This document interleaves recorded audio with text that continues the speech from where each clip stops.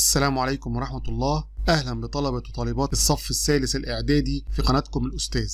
هنراجع مراجعة شاملة على حساب المثلثات والهندسة التحليلية من خلال حل امتحانات في أهم مسائل جت في امتحانات المحافظات. أتمنى أن يكون حل الامتحانات تدريب ليكم علشان ما يكونش فيه رهبة لما تيجي تحلوا المسائل جوه الامتحان. نبدأ أول امتحان على بركة الله. أول سؤال بيجي لنا اختر الإجابة الصحيحة من بين الأقواس. رقم واحد الزاوية التي قياسها 65 درجة. تتمم زاوية قياسها بتساوي كام؟ من المفاهيم المهمة جدا اللي لازم تكونوا عارفينها كويس الزاويتين المتممتين والزاويتين المتكاملتين مجموع المتممتين بيساوي 90 درجة ومجموع المتكاملتين بيساوي 180 درجة خدوا بالكم من المفاهيم دي لأنها بتيجي كتير في الامتحانات إحنا عندنا زاوية قياسها 65 بتتمم زاوية قياسها كام؟ يبقى 65 زائد س بتساوي 90 درجة ودي منها س بتساوي 90 ناقص 65 يعني س بتساوي 25 درجة.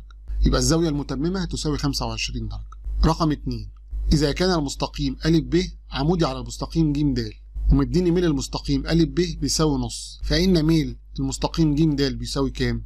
عندنا المستقيمين متعامدين يبقى حاصل ضرب الميلين بيساوي سالب واحد. فلو أ ب بيساوي م واحد وج د بيساوي م اتنين يبقى حاصل ضربهم بيساوي سالب واحد. أعوض عن م واحد اللي هو ميل أ ب بيساوي نص في م 2 اللي هي ميل ج د اللي إحنا عاوزين نجيبه يبقى م 2 هتساوي سالب 2 وهو ده ميل ج د رقم 3 إذا كانت ج تنتمي لمحور تماثل أ ب فإن ج أ علاقتها إيه بج ب؟ عمودية عليها ولا أقل منها ولا أكبر منها ولا بتساويها؟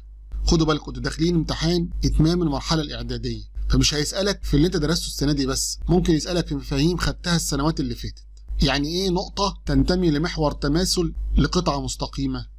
معنى كده إن القطعة المستقيمة اللي هي محور التماثل بتنصف القطعة المستقيمة أ ب والنقطة ج موجودة على محور التماثل في أي مكان يبقى لو وصلت قطعة مستقيمة من النقط ج إلى طرفي القطعة المستقيمة أ ب فلازم يكون ج أ هيساوي ج ب مفهوم كده؟ نشوف رقم أربعة إذا كانت الأطوال 3 سم و7 سم وصاد سنتيمتر هي أطوال أضلاع مثلث فإن قيمة صاد تساوي كام؟ دي متباينة المثلث درسناها برضو في السنوات اللي فاتت. من متباينة المثلث اللي إحنا خدناها لازم يكون مجموع أي ضلعين أكبر من الضلع الثالث طيب لو صاد بتساوي 3 هنلاحظ إنها ما بتحققش. ليه؟ لأن 3 زائد 3 مش أكبر من 7 لو صاد بتساوي 4 برضه لا تحقق ليه؟ لأن 3 زائد 4 بتساوي 7 وإحنا عندنا الضلع الثالث هيساوي 7 يبقى مش أكبر منه يبقى برضه لا تحقق.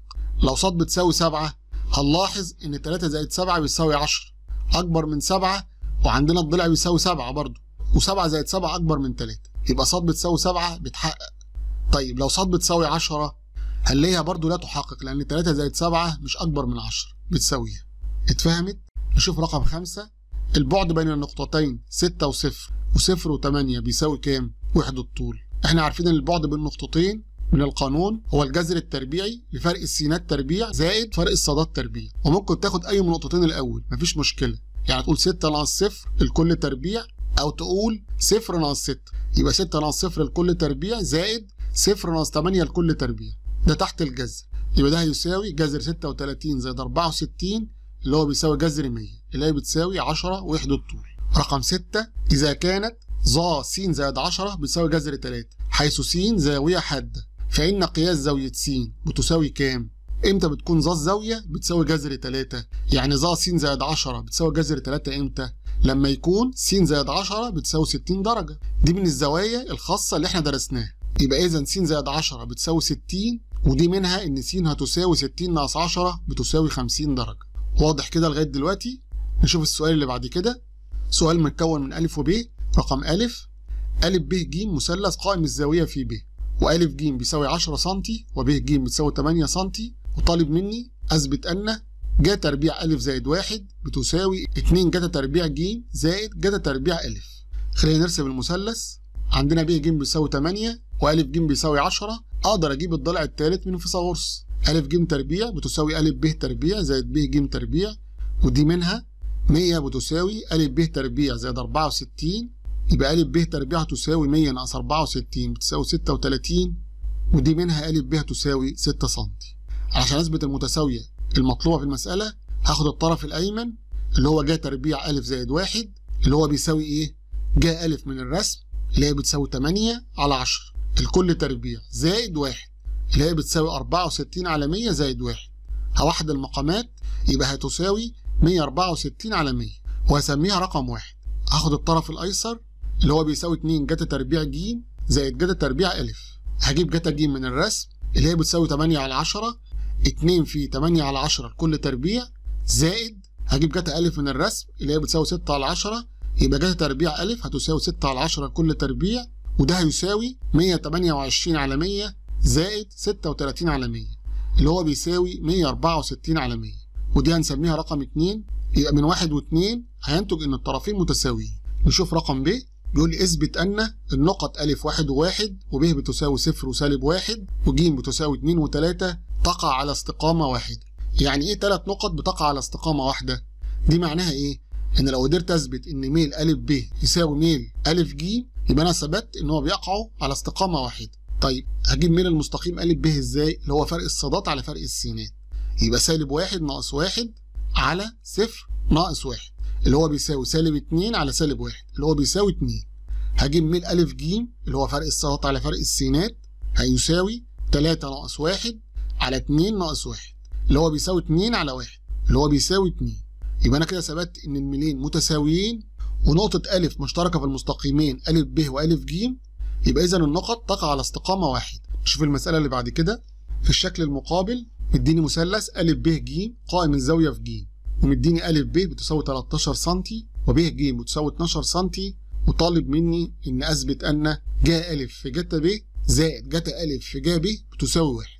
عندنا طول أ ب بيساوي 13 وطول ج ب بيساوي 12 يبقى أقدر أجيب من فيثاغورس الضلع الثالث يبقى أ ج تربيع هيساوي أ ب تربيع ناقص ج ب تربيع. أ ب تربيع ب 169 ناقص ج ب تربيع ب 144 وده هيساوي 25 يبقى أ ج هتساوي 5 سم المسألة دي ممكن أحلها بطريقتين.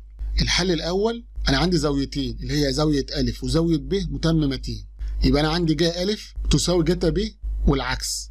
يعني جتا أ هتساوي جا ب. أقدر أعوض عن أي واحدة فيهم. يبقى جا أ في جتا ب زائد جتا أ في جا ب هتساوي إيه؟ هشيل جا أ وأحط بدلها جتا ب. يبقى جتا تربيع ب.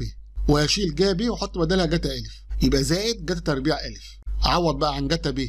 والجتا أ من الرسم عندي جتا ب هتساوي 12 على 13 يبقى عندي جتا تربيع ب بتساوي 12 على 13 الكل تربيع وجتا أ من الرسم هتساوي 5 على 13 يبقى جتا تربيع أ بتساوي 5 على 13 الكل تربيع وده هيساوي 144 على 169 زائد 25 على 169 اللي هو بيساوي 169 على 169 اللي هو بيساوي 1 طيب الحل الثاني اللي أنا أعوض تعويض مباشر أطلع قيم الدوال المثلثية.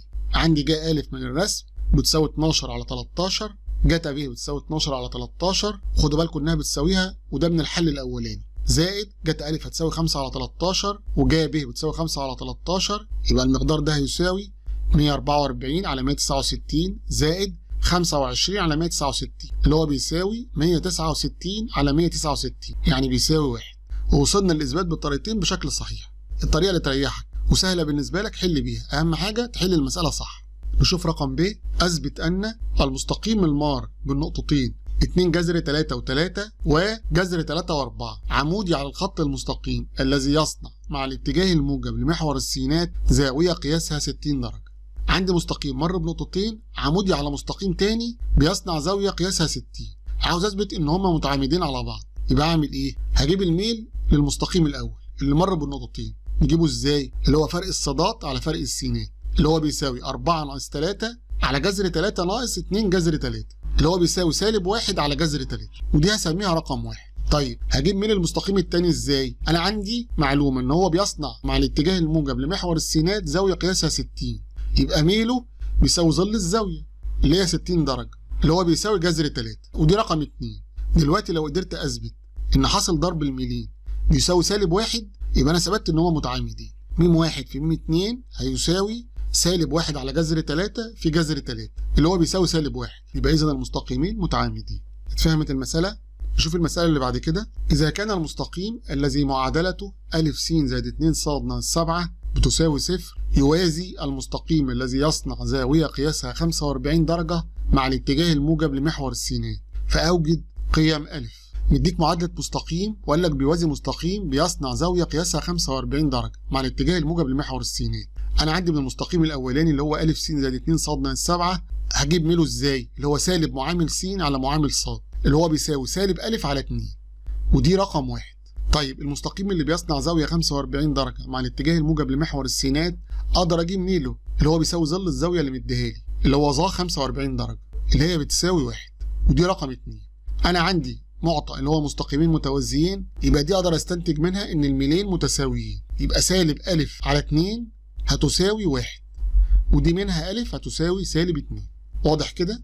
نشوف رقم ب بيقول لي بدون استخدام الآلة الحاسبة أثبت أن ظا تربيع 60 ناقص ظا تربيع 45 بتساوي 4 جا 30 زي ما اتعودنا نمسك الطرف الأيمن اللي هو ظا تربيع 60 ناقص ظا تربيع 45 هتساوي إيه؟ ظا 60 بجذر 3 يبقى جذر 3 تربيع ناقص ظا 45 بواحد يبقى ناقص واحد الكل تربيع بتساوي 3 ناقص واحد بتساوي 2 ده الطرف الأيمن. الطرف الأيسر اللي هو بيساوي 4 جا 30 وده هتساوي 4 في جا 30 بنص يبقى بتساوي 4 في نص بيساوي 2 يبقى الطرفين متساويين. بكده بقى خلصنا الامتحان الأولاني اللي هو المسائل المنتقاة من امتحانات المحافظات. أتمنى إن أنا أكون أفدتكم وأتمنى إن أنتم تكونوا استفدتوا. انتظروا إن شاء الله الامتحان الثاني تابعوا المنتدى. عشان تعرفوا الفيديوهات هتنزل إمتى ما تنسوش تدعموا القناة انك تعملوا لايك للفيديوهات اللي بتنزل وتشتركوا في القناة علشان يوصل لكم كل جديد. أتمنى لكم التوفيق والسلام عليكم ورحمة الله وبركاته.